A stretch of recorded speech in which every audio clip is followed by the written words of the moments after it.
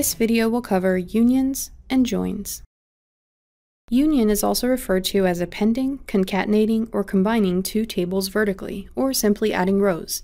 The tables should have the same variable names, types, and sizes. Variables that are in only one table will receive null or missing values for the rows from the tables that do not contain them.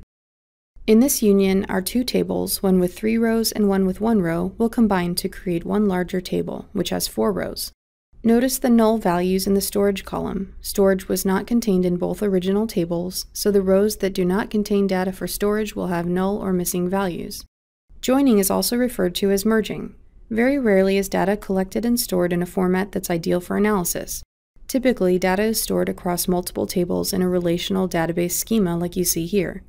Schemas are designed to optimize for storage, so values that repeat often and take up more storage, such as names, are reduced to representative IDs that take up much less storage.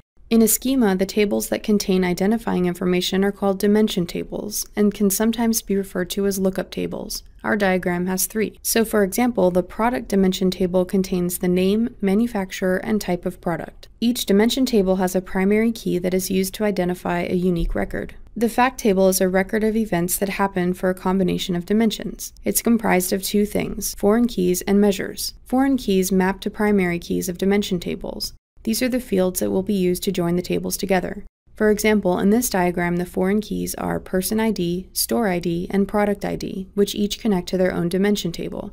Measures can be any type of variable we've already discussed. In this diagram, we have two measures, units sold and total amount. To join these tables together, we will use an inner join. This will return only rows that are contained in both tables. When a fact table has null or missing values for a dimension, using an inner join will remove the entire row. Since the row may contain useful data in other fields, it's better to use a left outer join to keep all values from the left table, in this case the fact table, and the values from the dimension table that match on the key. While there are other types of joins as shown here, inner and left outer joins are the most commonly used.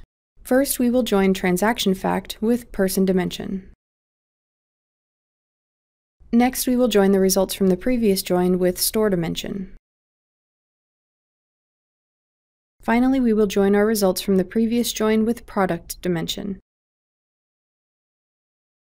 Notice how each step creates a progressively larger table. This concludes our video on unions and joins.